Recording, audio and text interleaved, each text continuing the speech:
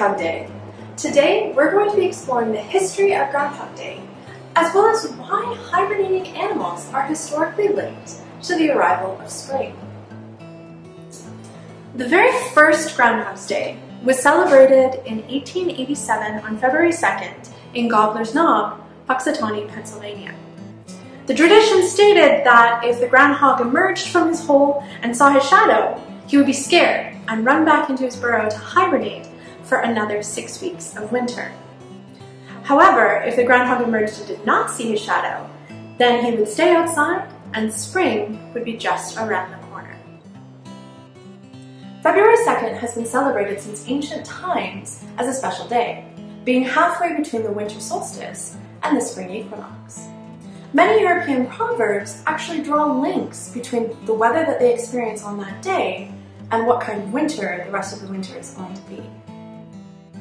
In addition, people have long recognized that there is a relationship between the waking of hibernating animals and the end of winter. Europeans believed that spring's arrival could be predicted by watching these animals, mainly hedgehogs, and seeing when they awakened.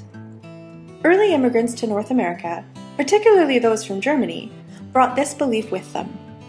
However, not finding any hedgehogs, they instead turned to the groundhog to predict the end of winter. Now that we know a little bit more about the history of Groundhog Day, let's learn a little bit about hibernation. Because after all, Groundhog Day is based on an animal that hibernates. Hibernation occurs so that an animal can conserve energy to survive through harsh weather conditions or a lack of food. The length of time an animal hibernates depends on the animal. Some animals hibernate for as little as 12 hours, whereas other animals hibernate for up to 9 months. A groundhog begins hibernating in early October and emerges in March. Many people believe that hibernating is just a deep sleep, but that's not quite true. When an animal hibernates, their body goes through many physiological changes that do not happen with regular sleep. This includes a slowing of their heartbeat and breathing, and a lowering of their body temperature. Now that we know a little bit about hibernation, let's play a game. Two pictures are going to pop up on the screen, and we want you to point at which of the animals you think hibernates. After a few seconds, we'll let you know the answer and a little bit about the animal. But make sure to let us know how many you got right in the comments below. For our first animals, we have a black bear and a moose. Both of these animals are found here in Ontario, but which one do you think hibernates? Remember to point to the picture on the screen of the animal that you think hibernates. If you guessed black bear, you're right.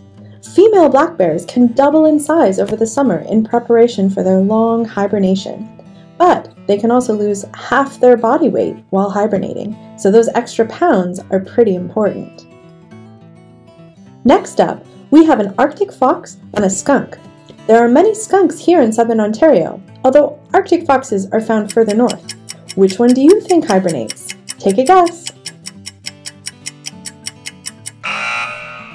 If you guess skunk, you're right. Skunks spend the autumn eating as much as possible. Although they wake up from time to time during their hibernation, they are mostly dormant throughout the winter. Next up, we have a chickadee and a chipmunk. These are two animals that many of us can find in our own backyard. Which one do you think hibernates?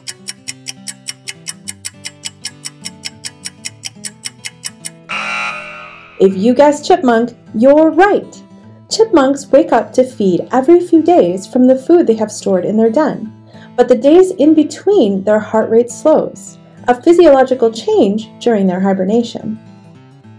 All right, up next is our final slide. Make sure to point at the animal you think hibernates. Do you think it's a beaver or a bumblebee?